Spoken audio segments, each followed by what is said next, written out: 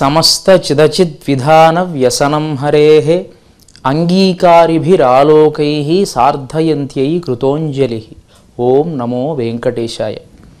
హరి అంతరంగా అలివేలమంగా కార్యక్రమానికి స్వాగతం.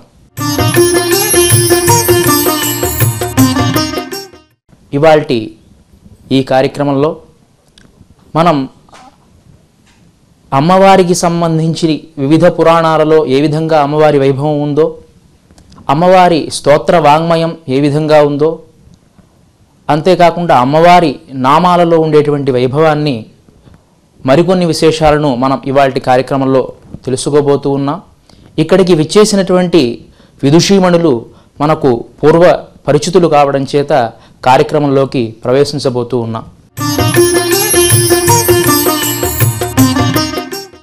అమ్మ అనంతలక్ష్మి గారు తిరుమలలో స్వామి వేయించేసి ఉండేటువంటి విమానానికి ఆనంద నిలయ విమానం అని పేరు. ఇక్కడ అమ్మ వేయించేసి ఉండేటువంటి విమానానికి శాంతి విమానం అని పేరు. అది ఆనందం ఇది శాంతం. అక్కడ ఉండేది స్వామి ఇక్కడ ఉండేది అమ్మ. ఈ రెండిటికి ఉండేటువంటి సామ్యం ఎలాంటిది భేదాభేదాలు ఎలాంటివి ఆ రసాలలో ఉండేటువంటి వ్యత్యాసాన్ని మాకు కొంచెం అర్థమయ్యే విధంగా వివరించండి. స్వతంత్రమైనటువంటి బుద్ధిని ఒక్క మానవుడికే భగవంతుడు ప్రసాదించాడు. ఆ బుద్ధితో మానవుడు తాను సాధించాలని కోరుకునేటటువంటిది ఆనందమే. ఈ ఆనందం పొందాలి అంటే దానికి ఉండవలసినటువంటి ప్రాతిపదిక ఏమిటి అంటే శాంతి. ఎన్ని రకాలైనటువంటి సుఖాలు ఉన్నా ఎన్ని రకాలైన భోగ భాగ్యాలున్నా శాంతము లేక సౌఖ్యము లేదు అని చెప్పినటువంటి మాటని మనం గుర్తుంచుకోవాలి. మనోవికారాలన్నీ శమించిన తరువాత ఎప్పుడైతే ఆ వికారాలు శమించుతాయో అప్పుడు మనస్సు అన్నది బుద్ధిలో లయమవుతుంది. బుద్ధి అప్పుడు ఏం చేస్తుంది అంటే ఉచ్ఛ్వాస నిశ్వాసాలలో లయం కావడం జరుగుతుంది. ఆ స్థితిలో ఆనందము అనేది అనుభూతమవుతుంది. అటువంటి ఆనందాన్ని మనకి అనుభూతి చెందించేటటువంటి ఆనందానుభూతిని కలిగించేటటువంటి ఒకే ఒక్క ప్రదేశం మన అదృష్టం కొద్దీ మనకి అందుబాటులో మనం చేరుకోవడానికి వీలుగా ఉన్నది. అదే ఆనంద నిలయుడు వేయించేసి ఉన్నటువంటి తిరుమల. తిరుమలలో స్వామివారు వేయించేసి ఉన్నటువంటి ఆ గర్భ గుడి అని ఏదైతే చెప్తామో అంతరాలయం దానికి ఆనంద నిలయము అని పేరు. ఆ దేవాలయ నిర్మాణాలు జరిగేటటువంటి ఆగమ శాస్త్రాన్ని అనుసరించి దానిపైన శిఖరం ఉన్న తీరుని బట్టి దానికి విమానము మొదలైనటువంటి పేర్లు పెట్టడం ఉంటుంది. విమానము గోపురము మొదలైనటువంటివి. అక్కడ విమానంగా పెట్టినటువంటి ఆ ఆలయ ఆ నిర్మాణం యొక్క శిఖరం ఏదైతే ఉందో అది ఆనందప్రదంగా ఉంటుంది గనక ఆనంద నిలయము అని పేరు. ఈ ఆనందాన్ని పొందడానికి ప్రాతిపదిక అని చెప్పుకున్నామే ఇది శాంతము. ఈ శాంతాన్ని ఎవరు కలిగిస్తారు? ఎప్పుడూ కూడా భార్యాభర్తల్లో భర్తకి ఏదైనా చికాకు కలిగితే శాంతి స్థానంగా చెప్పబడేటటువంటిది భార్య మాత్రమే. ఇది మన శాస్త్రం సప్రమాణంగా అంగీకరించినటువంటి మాట. భర్తకి ఎన్ని రకాలైన చికాకులైనా ఉండనిండి ఇల్లు శాంతి కలిగించవచ్చు. కానీ ఇంట్లో కొన్ని కారణాలుగా శాంతి అక్కడ కూడా లోపిస్తే శాంతిని కలిగించగలిగినటువంటి ఏకైక వ్యక్తి భార్య ధర్మపత్ని అని చెప్పబడేటటువంటిది. ఆనంద నిలయుడికి అటువంటి శాంతి స్థానం ఏదయ్యా అంటే తిరుచానూరులో ఉన్నటువంటి శాంతి నిలయం. ఎవరు? తన ధర్మపత్ని. యుగ యుగాలుగా సృష్టి ప్రారంభమైనప్పటి నుండి తనకు అనపాయినిగా ఉండి తాను ఎప్పుడు భూలోకంలో రాక్షస సంహారానికి ఏ అవతారాన్ని ధరించినా దానికి తగినటువంటి రూపంలో తనని అనుసరిస్తూ ఉండేటటువంటి మహాలక్ష్మి మాత్రమే. ఆ మహాలక్ష్మి కొలువై ఉన్నటువంటి తిరుచానూరులో ఉన్న ఆ ఆలయానికి శాంతి నిలయము అని పేరు. అందువల్లనే శాంతి నిలయాన్ని దర్శించుకున్నటువంటి వారికి మాత్రమే ఆనంద నిలయంలో ఆనందం అనుభూతం అవుతుంది ఈ కారణంగానే ముందు తిరుచానూరు వెళ్ళి అమ్మవారిని దర్శించుకుని ఆ పైన భూవరాహ క్షేత్రంగా చెప్పబడేటటువంటి దానికి ఇంకా పేర్లున్నాయి. ఆదివరాహ క్షేత్రము భూవరాహ క్షేత్రము శ్వేతవరాహ క్షేత్రము అని చెప్పబడేటటువంటి తిరుమలలో వరాహస్వామిని దర్శించుకుని ఆయన అనుమతి తీసుకుని ఆయన ఆశీస్సులతో వెంకటేశ్వరుని గనక దర్శించుకున్నట్టయితే ఆనందం సంప్రాప్తిస్తుంది అని వెంకటేశ్వరుణ్ణి దర్శించుకుని ఆనందం పొందడానికి ఉన్నటువంటి మార్గాన్ని పెద్దలు నిర్దేశించారు. కనుక ఇది శాంతి నిలయం అది ఆనంద నిలయం. ఈ శాంతి నిలయానికి ఉన్నటువంటి ప్రాధాన్యాన్ని శంఖణుడి యొక్క చరిత్రలో మనం తెలుసుకున్నాం. ఆ శంఖణుడు ఇక్కడ కొంతకాలం ఉండి సంకల్పపూర్వకంగా పద్మ సరోవరంలో స్నానం చేసిన తరువాత మాత్రమే ఒక మహానుభావుడు ఆయనకి మత్తులాంటి స్థితిలో ఉండగా అంటే అది పూర్తిగా యోగనిద్ర అని చెప్పలేం ధ్యానము అని చెప్పలేం అనుభూతి తెలుస్తూనే ఉంది అట్లా అని పూర్తిగా తెలిసిన స్థితిలోనూ లేదు. ఆ స్థితిలో వెంకటాచలానికి వెళ్ళేటటువంటి మార్గాన్నంతా కూడా చూపిస్తూ తీసుకుని వెళ్ళాడు.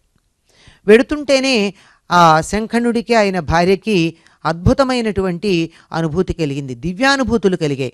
అంటే ఆ చెట్లల్లో వెడుతూ ఉంటే అవన్నీ దివ్యమైనటువంటి వనాలుగాను ఆ రాళ్ళను చూస్తుంటే ఇవన్నీ దివ్యమైనటువంటి రాళ్ళగాను ఇవన్నీ ఆనందాన్ని కలిగించేటటువంటివిగాను కనిపించటం జరిగింది. పైగా తిరుచానూరులో ఉన్నటువంటి ఆ పద్మ సరస్సుని ఏర్పాటు చేసింది కూడా నిర్మాణం చేసింది కూడా వెంకటేశ్వరుడే. అంటే ఆయన నిర్మాణం చేసినటువంటి సరస్సు గనక అక్కడ ఆయన పద్మాన్ని స్థాపించాడు బంగారు పద్మాన్ని. ఇప్పుడు చాలా పద్మాలు ఉన్నాయని చెప్పి శంఖండుడికి అక్కడ చెప్పడం కూడా జరిగింది. కనుక దానికి పద్మ సరస్సు అని పేరు.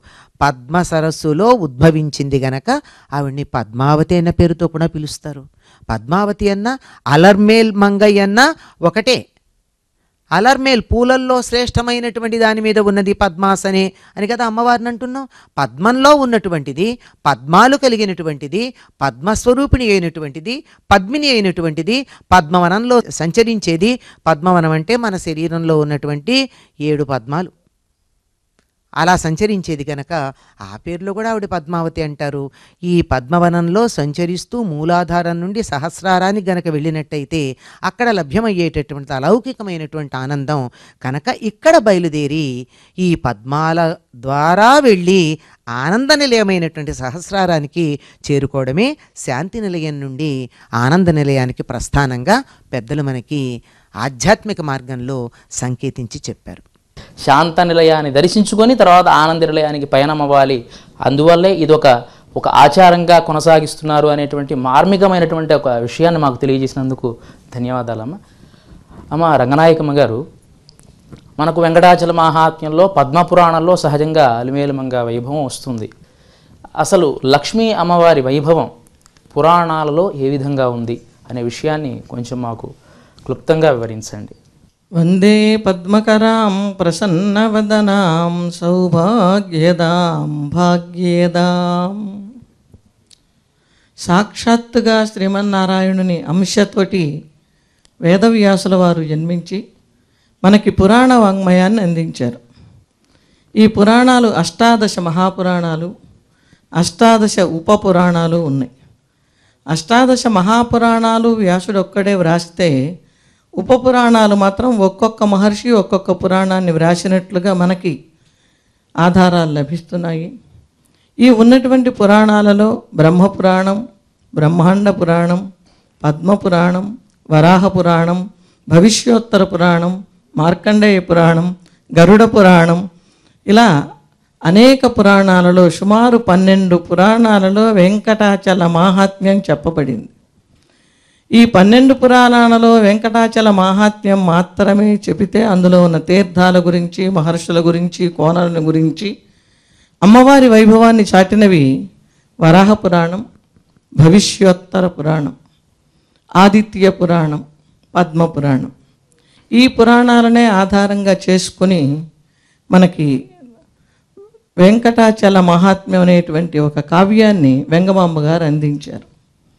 అయితే మొట్టమొదటగా వరాహ పురాణంలో అమ్మవారు ఆవిర్భవించినట్లుగా ఉంది. ఈ అమ్మవారి ఆవిర్భావం వరాహ పురాణంలో భవిష్యోత్తర పురాణంలో ఒకే విధంగా ఉన్నాయి.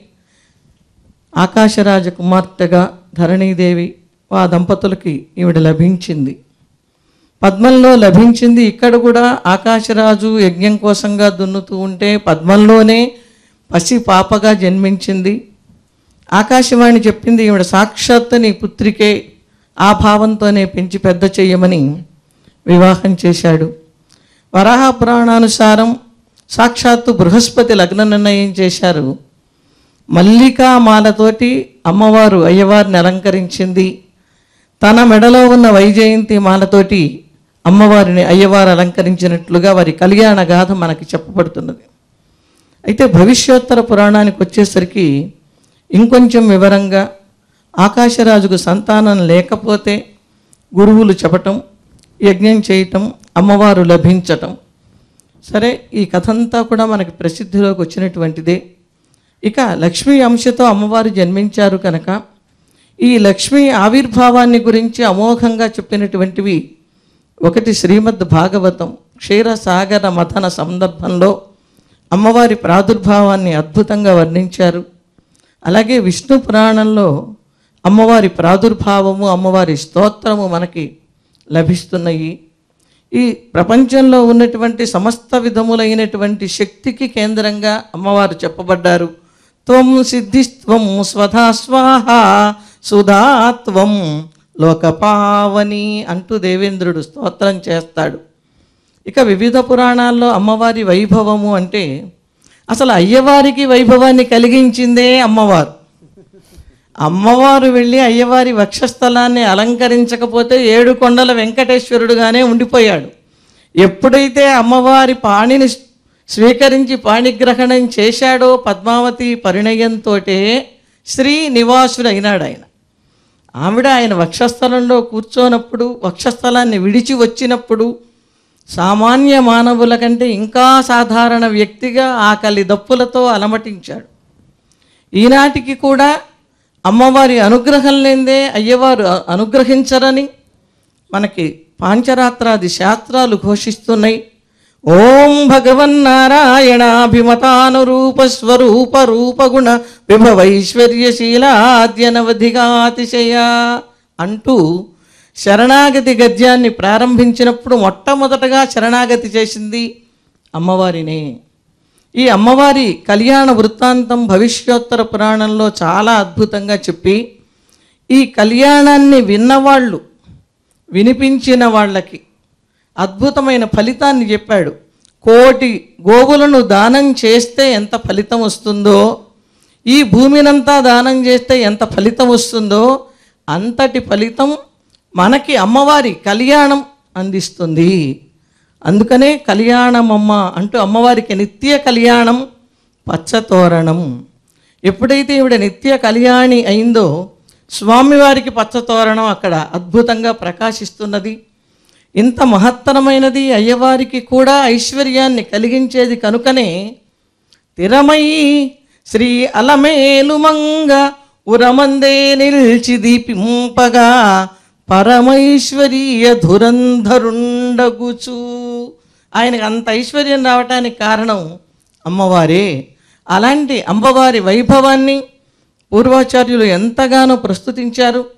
అయ్యవారి అనుగ్రహాన్నైనా ఇంత అని చెప్పగలమేమో కానీ అమ్మవారి అనుగ్రహాన్ని ఇంత అని చెప్పలేమట. మానాతీత ప్రథిత విభవాం మంగళం మంగళానాం సమస్త విధములైన శుభములకు మూలస్థానమైనది అమ్మవారు. అందుకనే శ్రీమన్నారాయణ చరణవు అని ముందు అమ్మని స్మరించిన తర్వాతే అయ్యవారిని స్మరిస్తున్నాం. ఇది వరాహ పురాణం భవిష్యోత్తర పురాణం ఆదిత్య పురాణం అనే ఉప పురాణాలలో ఉన్నటువంటి అమ్మవారి వైభవం ముఖ్యంగా విష్ణు పురాణం లక్ష్మి అనుగ్రహంగా భావించేది శ్రీమద్ భాగవతం. ఇలా వివిధ పురాణాలలో అమ్మవారి వైభవాన్ని మనకి అందించారు. మన పెద్దలు దాన్ని స్తోత్ర వాంగ్మయంలో ఇంకా సుందరంగా తీర్చిదిద్దారు. చాలా బాగా తెలియజేశారమ్మా. ఇంకా నారాయణ గురించి చెప్పాలంటే ఆవిడ లేకపోతే వైభవమే లేదు కాబట్టి మొత్తం ఆమె యొక్క వైశిష్ట్యమే అని తేల్చేశారు చూడమణి గారు. స్తోత్ర వాంగ్మయం. సహజంగా వైష్ణవ స్తోత్రాలు అయితే శ్రీగుణరత్న ఘోషముని ఆమనాచార్యులు వారు రచించిన కాంతాజి శ్లోకి శ్రీస్తవం ఇక పురాణోక్తమైందంటే శ్రీస్తవం శ్రీస్తుతి. కనిపిస్తుంది. అసలు మొత్తం లక్ష్మీ అమ్మవారికి సంబంధించినటువంటి స్తోత్ర వాంగ్మయం ఎలా ఉంది?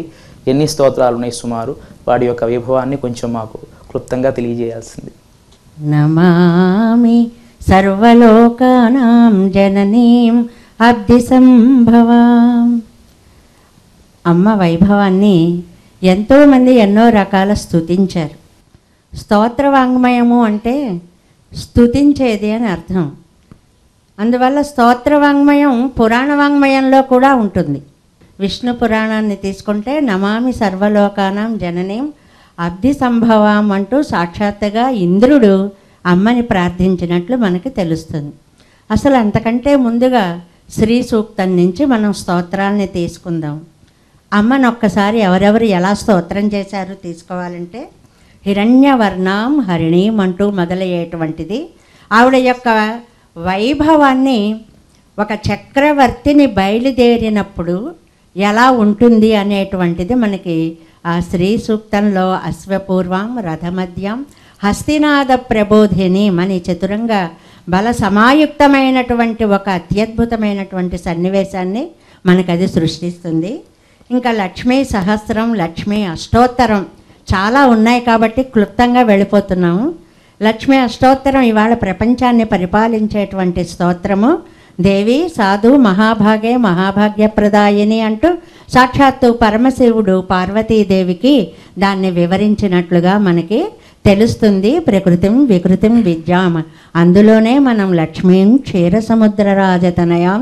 శ్రీ రంగధామేశ్వరీం అనేటువంటి స్తోత్ర వాంగ్మయమైనటువంటి అత్యద్భుతమైనటువంటి శ్లోకాన్ని ఇవాళ లక్ష్మీదేవికి ప్రతీకగా ప్రతినిత్యం కూడా అనుసంధానం చేసుకోవడం జరుగుతోంది. తర్వాత మహాలక్ష్మి అష్టకము అనేటువంటిది లోకంలో చాలా ప్రసిద్ధమైంది. ఒక ఎనిమిది శ్లోకాలతోటి అది నమస్తేస్తు మహామాయే శ్రీపీఠే సురపూజితే శంఖచక్ర గదాహస్తే మహాలక్ష్మి నమోస్తుతే. ఎంత ప్రసిద్ధమైనటువంటిదో ఇవాళ నిత్యపారాయణగా విలసిల్లినటువంటి స్తోత్రంగా కూడా దాన్ని మనం చెప్పుకోగలం. అలాగే అష్టలక్ష్మి స్తోత్రం ప్రత్యేకంగా అమ్మని ఆదిలక్ష్మిగా ధాన్యలక్ష్మిగా ధనలక్ష్మిగా సంతానలక్ష్మిగా వీటన్నిటినీ కూడా చెప్తూ సుమనస వందిత సుందరి మాధవి చంద్ర సహోదరి హేమమయే. జయ జయ హే మధుసూదన కామిని ఆదిలక్ష్మి సదా పాలయమాం ఇలా ఎనిమిది శ్లోకాలని అష్టలక్ష్మి శ్లోకాత్మకంగా స్తోత్రవాంగ్మయం మనకి చాలా అందంగా అందించింది. సరే నమామి సర్వలోకానాం జననీ మధ్య సంభవం అనేది అసలు ఒకప్పుడు ఈ ప్రకృతం వికృతం విద్యాం అనేది పారాయణ చేసుకోవడానికి ముందు కాలంలో సుమారుగా ఒక ఎనభై సంవత్సరాల క్రిందకి వెడితే అందరూ విష్ణు పురాణ అంతర్గతమైనటువంటి నమామి సర్వలోకానాం అనే స్తోత్రాన్ని నిత్యపారాయణం చేసేవారు. తర్వాత తర్వాత ఇది ఎక్కువ ప్రచారంలోకి రావడం అనేటువంటిది జరిగింది. తర్వాత యామునార్యులు అనేటువంటి మహానుభావులు కాంతా చతుశ్లోకి అనేటువంటిది కాంత అనే పదంతో మొదలైంది కాబట్టి కాంతస్తే పురుషోత్తమ పణిపతి శయ్యాసనం వాహనం అద్భుతమైనటువంటి వర్ణన అమ్మని. అదే సమయంలో ప్రత్యేకం గోదాదేవి వాంగ్మయంగా తీసుకుంటే మాతా చేతుల సీపిత ఎది తవ శ్రీ విష్ణు చిత్తో మహాన్ భ్రాత యది శేఖర ఇలాగా ఆ వాంగ్మయంలో ఒక రెండు కాంతాశ్లే చతుశ్లోకల్ని మనం తీసుకోవడం. తర్వాత శ్రీస్తవము అనేటువంటిది కూరేసులు అనేటువంటి మహానుభావులు పంచస్తవాన్ని రచిస్తూ అందులో అమ్మని గురించి ప్రత్యేకంగా వర్ణిస్తూ స్వస్తి స్త్రీ దిశత అశేష జగతాం సర్గోపసర్గస్థితి అని ప్రారంభమయ్యేటువంటి ఒక అద్భుతమైనటువంటి శ్లోక వాంగ్మయాన్ని పెద్దలందరూ కూడా అద్భుతంగా స్తోత్రం చేసేటువంటి దాన్నిగా ఇది మనం చెప్పుకుంటాం. కూరేసుల తర్వాత వారి కుమారులు సాక్షాత్తు శ్రీ పరాశర భట్టర్ వారి శ్రీ గుణ రత్న కోశం. ఎన్ని గుణాలండి ఆవిడికి? ఎన్ని రత్నాలు అవన్నీ? వాటన్నిటినీ కోశంగా అమ్మ ఎంత దయార్ద్ర హృదయురాలు అంటే ఐశ్వర్యం అక్షరగతిం పరమం పదం వా కస్మైన అంజలిభరం వహతే వితీర్య అస్మైన కించిత్ ఉచితం కృతం. ఇది అధంబా తను లజ్జసే కదయ కోయముదార భావాన్. ఒక్కసారి నమస్కరిస్తే అయ్యో వీడు ఇంత కష్టపడి నమస్కారం పెట్టాడే వీడికి నేనేం ఇవ్వలేకపోతున్నా నేను సిగ్గుపడిపోయే మాతృ హృదయంగా శ్రీ గుణాలను మనకి శ్రీపరాశర భట్టార్ అనేటువంటి వారు అందించారు. తర్వాత వేదాంత దేశకులు కూడా శ్రీస్థుతిని చేశారు. దీనికి కనకధారాస్తవం అనేటువంటి పేరు కూడా ఉంది. మానాతీత ప్రథిత విభవం మంగళం మంగళానాం అంటూ ప్రారంభమవుతుంది. అమ్మ నిన్ను నేను చక్కగా పొగడాలనుకుంటున్నాను. సరే శంకర భగవత్పాదులు కనకధారాస్తవం. వందే వందారు మందారం ఇందిరానంద కందలం అంటూ అద్భుతమైనటువంటి అనుప్రాసతో అంగం హరే పులకభూషణం ఆశ్రయంతి అనేటువంటి శ్లోకాలతోటి వారు చెప్తారు.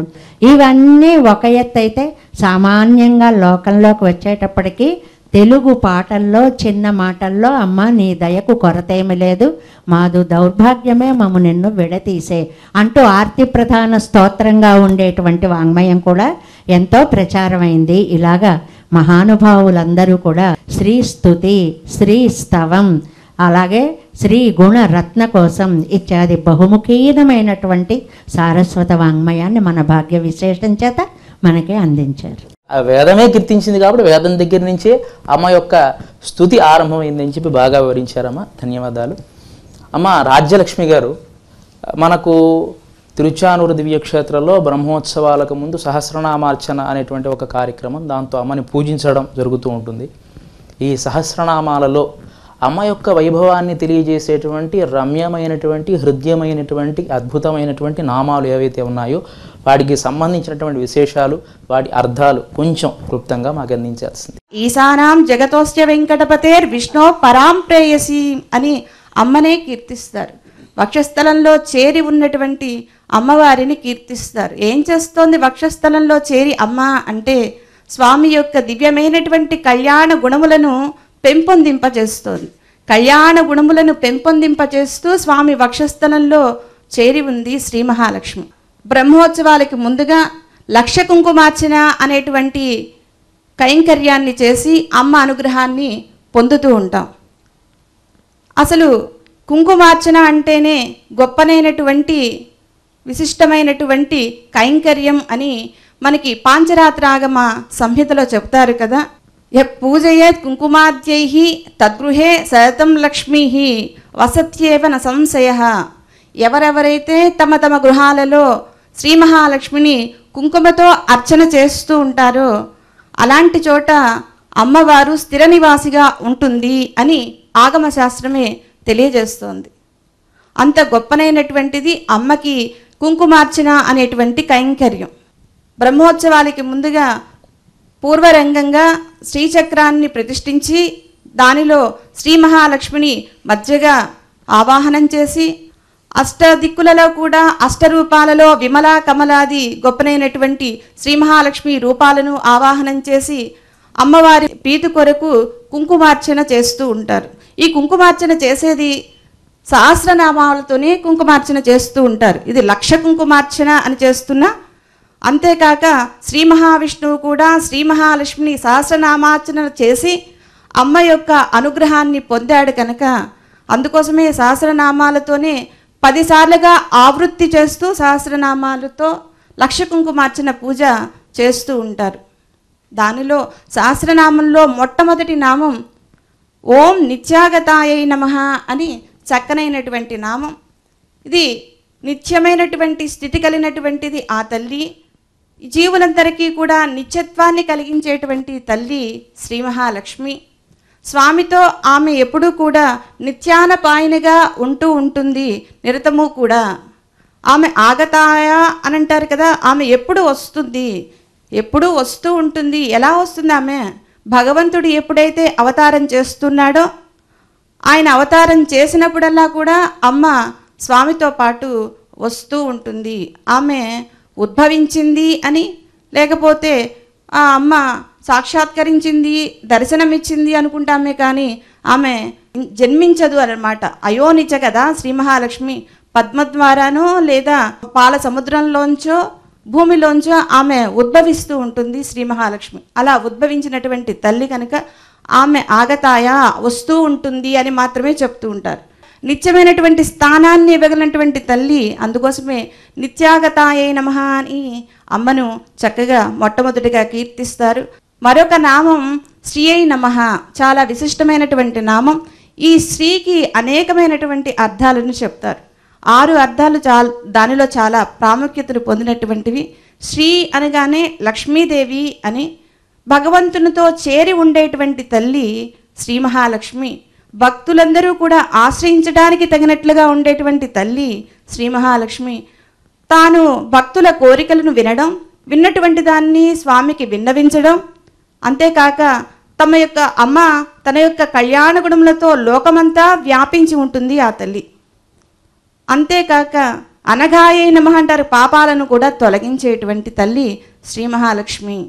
శ్రీ అనే శబ్దం చిన్నదే అయినా దాని అర్థాలు మాత్రం ఆరు అర్థాలు చాలా విశిష్టమైనటువంటి అర్థాలు అనమాట అలా స్వామితో చేరి ఉండి మనల్ని రక్షించేటువంటి తల్లి శ్రీ మహాలక్ష్మి అని ఈ విధంగా అనేకమైనటువంటి నామాలు విష్ణు వక్షస్థల స్థితాయే నమః అని స్వామి యొక్క హృదయంలో ఉండేటువంటి తల్లి అని హృదయంలో వేంచేసి ఉంది.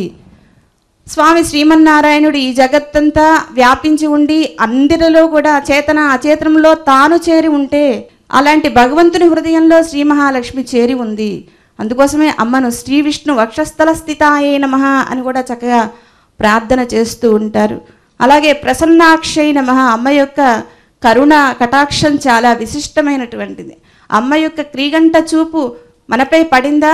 వారంతా కూడా కష్టాల నుంచి తప్పించుకున్నట్లే అన్నమాట. అందుకే చెప్తారు కదా శ్రీమన్ మందకట అక్షలబ్ధ విభవద్ బ్రహ్మేంద్ర గంగాధరం అని. అమ్మ యొక్క కనుచూపు సన్నగా పడినా చాలు అది వారికి గొప్ప గొప్ప పదవులను పొందటానికి అవకాశం ఉంటుందిట. అందుకే ప్రణిపాత ప్రసన్నాహి మైథిలి జనకాత్మజ అని తెలియజేస్తారు. మన దోషాలనన్నిటినీ కూడా స్వామికి కనపడకుండా చేసి రక్షకత్వ తత్వమే శ్రీ మహాలక్ష్మి అని అనమాట ఈ విధంగా శ్రీ మహాలక్ష్మిని అనేక నామాలతో సహస్రనామాలతో పూజిస్తూ ఉంటారు భక్తులంతా కూడా. ఉత్తమమైనటువంటి నామంతో ప్రారంభించారు. చాలా మంచి విశేషాన్ని మాకు తెలియజేసినందుకు ధన్యవాదాలు. ఇవాల్టి ఈ కార్యక్రమంలో శాంత నిలయం యొక్క వైభవము ఆనంద నిలయానికి ఉండేటువంటి వైభవాన్ని తెలుసుకొని లక్ష్మీదేవికి సంబంధించినటువంటి విశేషాలు వివిధ పురాణాలలో వివిధ స్తోత్రాలలో ఎలా ఉందో అదేవిధంగా సహస్రనామంలో లక్ష్మీదేవి యొక్క వైభవాన్ని మనం ఇవాటి కార్యక్రమంలో తెలుసుకున్న మరిన్ని విశేషాలతో మరొక కార్యక్రమంలో మళ్ళీ కలుద్దాం. అంతవరకు ఓం నమో వెంకటేశాయ.